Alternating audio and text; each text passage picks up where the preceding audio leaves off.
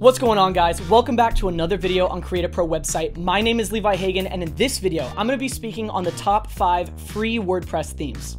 So really fast, what is a theme and why do we need one? Well, most of the time you're going to be using a page builder like Elementor or Beaver Builder or Gutenberg or any of those other ones, and you're going to be editing the meat of the website. But the top and the bottom, the header and the footer, you're going to be using the theme for. You can create any site you want with page builders, so if there's one thing to take away from this video, it's to choose your theme based on your needs and its backend capabilities.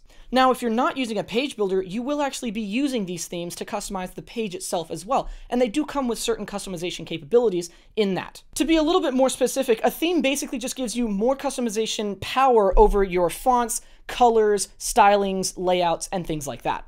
That being said, let's get started.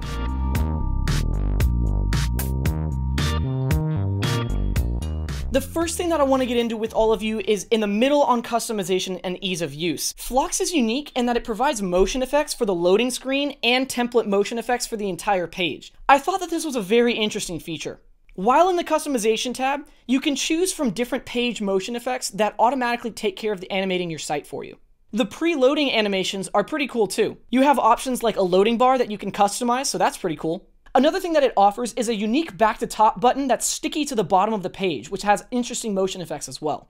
It was the cleanest, most professionally animated back to top button that I've seen without having to do any editing or customizing to. Maybe y'all don't geek out over things like that, but I wanted to go over it. In addition, you can also go to the appearance tab and show the website frame and other aesthetic options as well.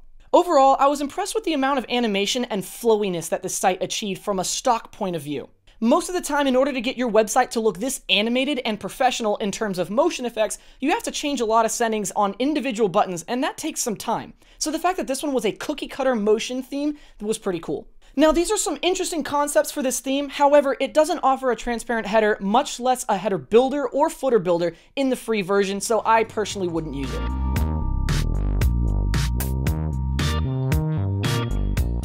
The next theme that I want to talk to you guys about is called Deep.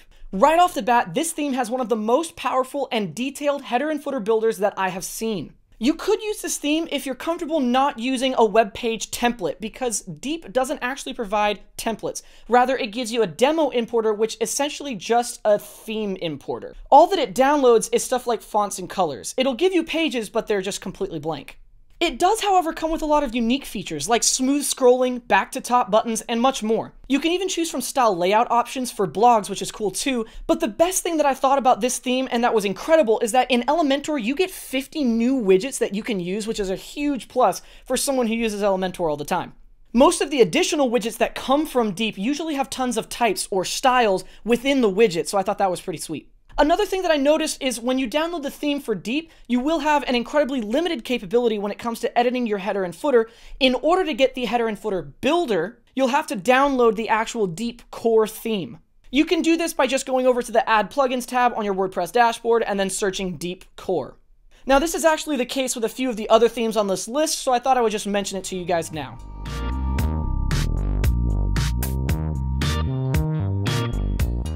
The next thing that I want to talk to you guys about is one of the longest and most used themes in the WordPress repository. Ocean WP is a powerful theme that has tons and tons of customization options and capabilities. On the other hand, I felt like it was a bit too cluttered and a little overwhelming in that the customization tab seems unorganized and has too many options.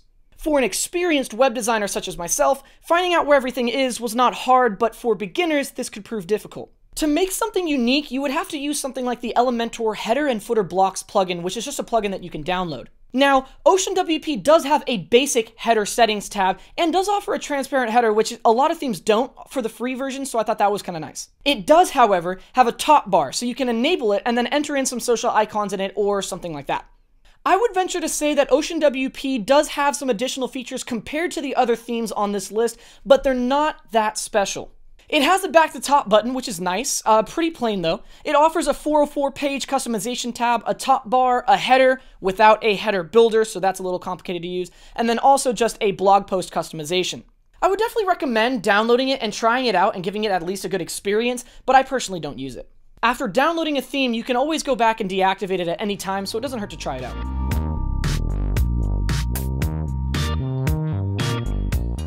The next theme on my list is my number one go-to for the channel, but not necessarily my personal favorite. Astra has a huge repository of templates out of all of the other themes, and they have some of the best looking templates as well. Now, the design quality can be a bit subjective, of course, but I personally like the templates on Astra a lot more than the other themes. The reason I like Astra better than Ocean WP is mostly for the starter templates.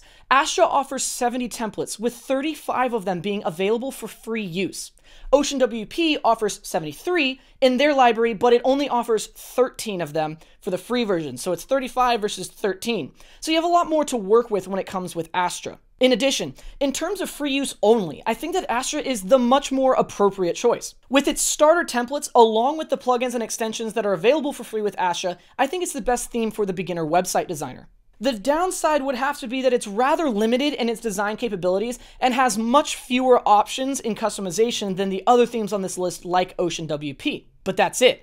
I personally don't think that there are any other downsides to Astra, and that's why I use it so much. I always use Astra because for beginners, designing a slick website is hard, so the templates are a huge benefit for me teaching people who have no experience.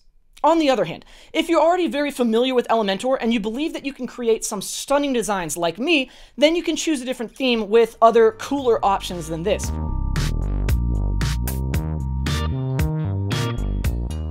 Now, this is why I've saved the best for last. When I'm not on YouTube showing people how to build websites and keeping it simple and easy, I personally like to use the Blocksy theme because it checks every box that I have when it comes to picking a theme, and it also has some pretty awesome features on top of that. Blocksy definitely supports Elementor, which is my preferred page builder. It's also highly rated and respected, and it is also perfect for what I plan to use it for. Remember when I said at the beginning to pay attention to the back end of the theme? Well, I think that Blocksy has the most organized back end of all of the themes, and it also has a super easy switch from the light and dark theme.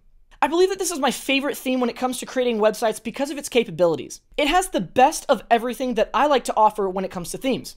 It has a back to top button, transparent header, header and footer builder, and it's just as detailed as deep, by the way, website frame that's customizable, blog customization, and starter templates. Now, you have to download the Blocksy Companion plugin, which is the supporting plugin similar to Ocean WP and Deep, where you have to have that supporting plugin in order for it to work properly. But I think it's the best theme out there still. The header builder is incredibly complex and powerful, but not complex in a bad way. It gives you full control of the header and the other headers as well. What I mean by this is you're able to copy headers from page to page and then edit them individually for different pages, which is pretty cool. Another really cool feature is the off canvas menu, where you can actually have a hamburger icon in the top corner and then customize a menu to appear when triggered. Once it's triggered, you can then fully customize the background, the widgets, the logo, and everything else from colors to fonts. I think this off canvas menu is pretty awesome. So at the end of the day, I think that the Blocksy theme is the best out of all the other themes, and that's why I use it the most. Alright everybody, thank you so much for watching the video. That was my list of the top 5 WordPress themes. I hope you guys enjoyed the video and got what you came for. If you're interested in learning how to build your own website and you like the way I sound, then definitely check out the rest of the channel because we're constantly putting out in-depth free tutorials on building websites step by step. And if you're looking to get started today for your website, then go ahead and click on the first link in the description to get a huge discount on your web hosting. Alright guys, if you have any questions, please leave a comment with your question down in the section below, and I'll see what I can do to help. I personally respond to as many as I can. I'm Levi Hagan with Create a Pro Website, wishing you the best, and I'll see you in the next video.